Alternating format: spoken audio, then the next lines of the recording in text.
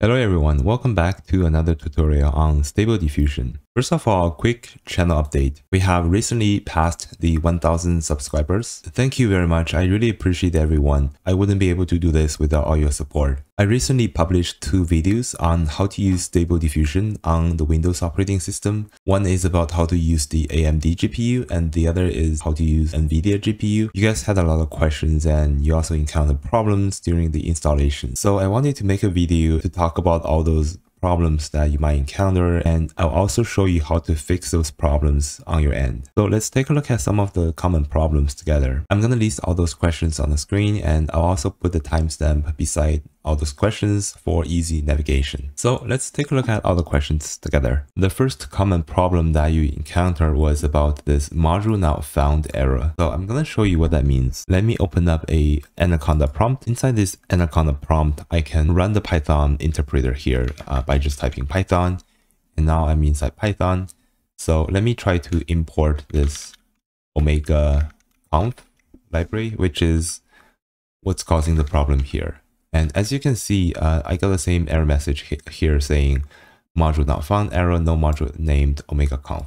So Let's exit out of Python and let me show you what that means. OmegaConf is a third-party library that we need to install in order to run the Stable Diffusion software. To check what third-party libraries we have already installed on our system, we can type pip list and this is going to show us everything, all the third-party that we installed to this copy of Python on our computer. So if we scroll up, here are all the libraries that starts with the letter O and as you can see there's no OmegaConf library here. Another way to check it is just by typing pip show and then plus module name OmegaConf. So sometimes I call them Python modules and Python libraries. Sometimes I tend to use them interchangeably, so they mean the same thing. So how do we fix this? There are two approaches. One is that simply type pip install and then plus the module name, OmegaConf in this instance. If your error message says something else, then simply replace this OmegaConf with the missing library on your end. And the second approach depends on whether you installed a virtual environment for your Stable Diffusion software. If you have installed a virtual environment, then chances are you probably forgot to activate your virtual environment before you run the Stable Diffusion software. Let me show you what that means. So on this window right here, I am actually logged into my other computer, which also has the Stable Diffusion software. If I type pip show OmegaConf, it's also not going to find it because we don't have the OmegaConf library installed under the base Python. So see how this thing here says base and basically this means your global Python interpreter. So this base here refers kind of to a virtual environment. So if you follow my video on how to run Stable Diffusion on Windows, chances are that you have already created a virtual environment. So for example, you might have created something called LDM. In that case, just type conda activate LDM. When you type this, then you will see that the base will become LDM which means that now we are in the LDM virtual environment.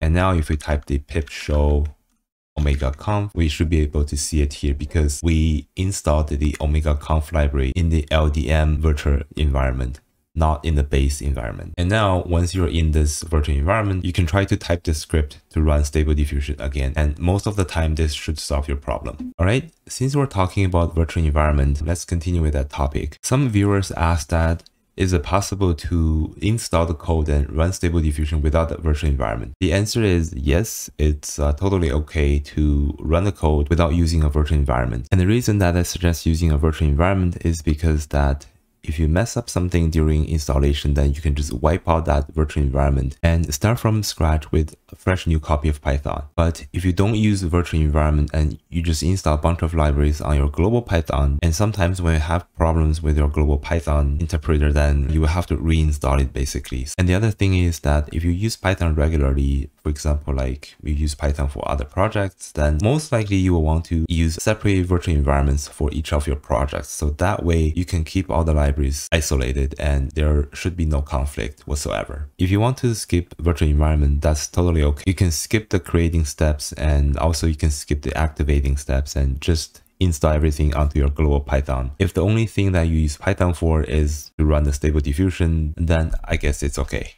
But if you need to use Python for multiple projects, then the best practice is using a virtual environment. The third common problem is with the Hugging Face login. So when you try to log in Hugging Face using the Hugging Face login CLI login, so when you're on this page, essentially we need to copy the access token from the Hugging Face site and paste it here. A lot of people had a problem with pasting that token here myself included, there's one viewer suggested that instead of using the usual paste shortcut, which is Control V, uh, Control V doesn't work here. You can right click on the window to paste token there.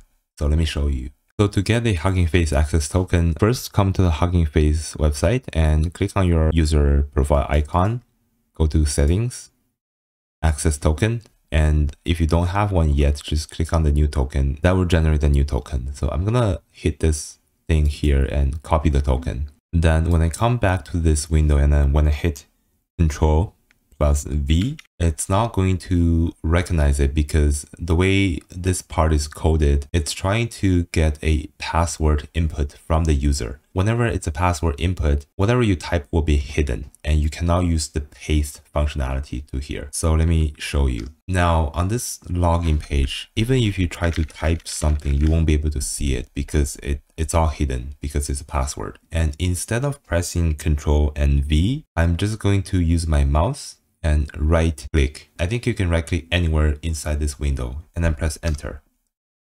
This way you will be able to log in successful. Let me show you another way to get past this step and this is kind of a hacky way. This is my virtual environment folder and inside here, go into lib, type packages and then find Hugging Face Hub, commands, user, don't double click on this because this is a .py file, which means a Python file. Double clicking it means you want to run this file most of the time. What you want to do is right click on the file and open it as a notepad. Once you have the code open in a notepad or any text editor, just scroll down and look for that Hugging Face thing here. So this is the part that it's trying to get the token or the password from the user. So instead of letting the system do that, we're going to comment out this getpass and you can just type a hashtag here. This means comment and type two single quotes. This is basically means a Python string. We're going to paste our access token between these two quotes, right? And then save the file and close it. This way, when you run this Hugging Face CLI login, I won't ask you for your password or your token. I will just use whatever you put into your script as the token uh, for the login. All right, so the fourth common problem is a lot of people got this error file not found error window win error 2 the system cannot find the file, something, something. In most cases, this is related to not having the Git program properly installed. You want to install this Git program first. I'll leave the link in the video description below. So just go here and download for Windows and then install it. Git is a version control software that a lot of programmers use. So it's totally safe, totally legit program. And when you try to install it, it will ask you for a lot of options. Just go default with everything and just next, next default and you'll be fine. After installing Git, what you want to do is rerun the command that you ran before when you get this error message, file not found. And it depends on where you got this error message. Um, sometimes you might have to wipe out your current virtual environment and install fresh one because sometimes this error message can occur during environment installation. So that means you have a partial virtual environment installed and it's not complete. So it's not gonna be good. You have to first remove that virtual environment. And the way to do that is like this. I am currently in this LDM virtual environment. If you're also already inside the virtual environment, the first thing you want to do is you want to uh, conda deactivate. So basically you want to stop using this virtual environment and then you want to remove it from your system. Uh, you can do that by typing conda env remove dash n LDM. I'm not going to run this because that will remove the LDM virtual environment from my system and my system is still good so I don't want to do that but you will want to do that on your end if your installation is not complete. After hitting enter and removing the LDM virtual environment you also want to do another thing. Come to your C drive and users and just look for your own username and then go to Anaconda 3 inside this env folder, you will see the LDM folder and this is the folder for that virtual environment. Although you removed it through the command line here, you will still see the folders here. And this folder contains all the third-party libraries. So you want to delete this folder. That way you will have a clean slate and then you can reinstall a fresh virtual environment onto your system. The next question is how can I get different images for one request? I'm gonna talk about how to do it on both NVIDIA and AMD versions. So if you're using NVIDIA version, this is the official Stable Diffusion code. Inside here, you should have a text to image .py file. Just open this up in the notepad or a text editor. Don't double click it because that will run the script instead of opening it. Once you have this script open, press Ctrl F, search for seed it's to be this line here. What you want to do is you can either put a hashtag to comment this line out, or you can just delete this line altogether and then save the file. This way you will remove the default seed, which is 42 from the script. So that means basically every time from now on, every time you run the script, it will use a random number as the seed. For AMD version, you should have the code like this. It's going to be in the diffusers DML examples inference. Inside this DML onnx.py file, Again, open this in either Notepad or a text editor. Also search for the keyword seed because this is setting the random generator to a fixed number. So that way, every time you run the script, it will generate the same image. And once you comment this out or you remove this line, it's going to start generating different images every time you run the script. So this is how we would do it for AMD. All right, the next question is how to get multiple images in one command. There are many ways to do this. I'm going to show you the way I do it. In the NVIDIA version, in the official Stable Diffusion code, you can add an argument from file followed by the file location. And the file is really just a text file. You can include multiple prompt in the file. Just make sure that for each prompt, you want to list them on separate lines. So basically here I have five different prompts. When I save this file and I use the from file argument and then add this file location after that, it's going to generate five images, one for cat, one for dog, tiger, flower, and a car. That's how you can generate multiple images using different prompt. If you want to generate multiple images using the same prompt, you want to use this argument here. It's going to be an iter. By default, this is setting to 2. Stable Diffusion will run twice will give you two different images. And the way to use this prompt is something like this. You can type Python, I believe it's scripts, text to image.py prompt, and then n iter, let's say 10. With this n iter argument, you're basically running the text to image 10 times while using the same prompt a cat. So this is how you would generate multiple images for the same prompt. These are for the NVIDIA GPU.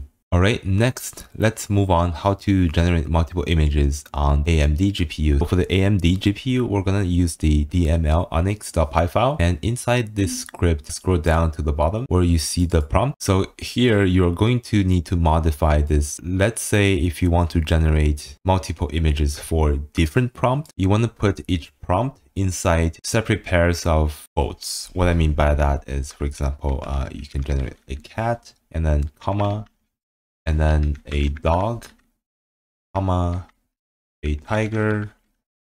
Let me remove this for a second. Basically, you're instructing the stable diffusion to generate a cat, a dog, a tiger. So you're running three times using three different prompts. Let me comment out this for now. If you want to generate multiple images using the same prompt, what you want to do is, so let's type the prompt and then equal to Square brackets means a list in Python. You want to type your prompt as a string variable. You can create the string data type by typing just the two single quotes. And here, let's say a flower. If you want to generate 10 different flowers, what you want to do is after this list, just type multiply 10. This way, Stable Diffusion will run the same prompt, a flower, 10 times, and then it will give you 10 different images. On to the next question how do we make the image resolution higher? This is much easier if you are using an NVIDIA GPU. You can just use two different arguments to control that. One argument is H, stands for height. The other argument is W, stands for width. To use these arguments, what you want to do is after typing the prompt and then you can just type dash dash width. By default, these are 512 and then also the height is also 512 you can change these values, for example, 10, 24, that will give you an image twice the width. Just note that the higher the resolution, the longer the runtime will be. In terms of the AMD higher resolution, I don't really recommend running a higher resolution on an AMD card because AMD cards are very slow to generate these images. For me, I have an RX 580. It takes about 3 minutes to generate a single image with the default size 512 by 512. So I really wouldn't recommend generating images any higher than the default resolution. But if you really want to, let me show you how to do that. First thing that you need to do is this is the code for the AMD graphic card. Go to examples, inference. You have to change the code in two scripts. So the first one is, is save onnx.py. Scroll down all the way to the bottom and in the last line of code, both height and width are 512, uh, which is the default size. You can change the size here, for example, 768. Save the file. You have to run this save underscore onnx.py file first in your command prompt. It's going to download the weights and then convert them into the ONNX file using this height and this width. So basically with AMD, whenever you want to change the image resolution, you have to re-download all the model weights and then reconvert to those ONNX files. This is the first step. And the second step is that you have to also change the code in the DML onnx.py file. Also scroll down to the bottom. So here you also have these two parameters, height and width. And because in the previous one in the save onnx .py file, we change this to 768. So these two measurements have to match to whatever you set in the previous file. Otherwise, it's not going to run. And then after you change this, you save the file, close it. And now if you run it, it will give you images with a different resolution. But again, like I said, I highly, highly don't recommend using AMD to generate a higher resolution image. It's going to be very, very slow. All right, that's all the common questions that many people have asked in case that I missed any questions, uh, feel free to leave a comment down below. I'll try my best to answer them and help you get your stable diffusion running. That's all for this video. I hope you enjoyed it and I'll see you in the next one.